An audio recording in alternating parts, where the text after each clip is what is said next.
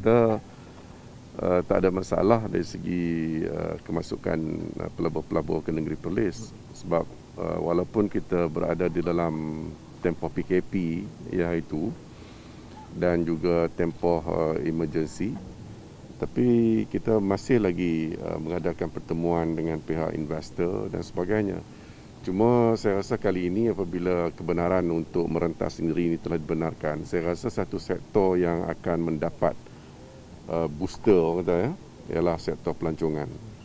Kerana sektor pelancongan ini pada bulan 12 yang lalu uh, telah pun menunjukkan peningkatan yang sangat tinggi. Tetapi apabila kerajaan memperkenalkan darurat, uh, maka terhentilah. Jadi saya rasa ini akan balik semula uh, dan saya yakin bahawa uh, pengunjung-pengunjung akan datang kembali ke negeri Perlis lah uh, untuk menikmati produk-produk yang telah pun kita sedia ya, iaitu yang berdasarkan kepada keindahan semula jadi di negeri Perlis ini. Dan saya yakin kita akan mendapat kesan limpahan daripada pelancong yang pergi ke Langkawi. Ya.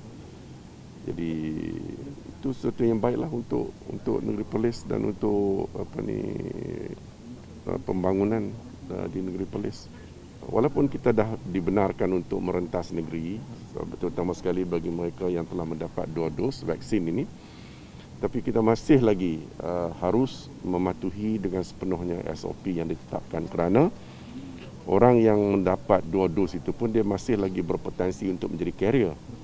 Ya jadi kita tak mahu benda ini akan uh, menyebabkan berlaku sekali lagi uh, gelombang yang keempat pula nanti kata ya yang kesannya uh, buruk lah tapi ialah dah kita mendapat apa ni 90% dah vaksinasi di kalangan penduduk uh, itu terutama sekali yang dewasa jadi risiko untuk mendapat jangkitan itu tidaklah uh, sebesar seperti mana yang uh, berlaku sebelum ini.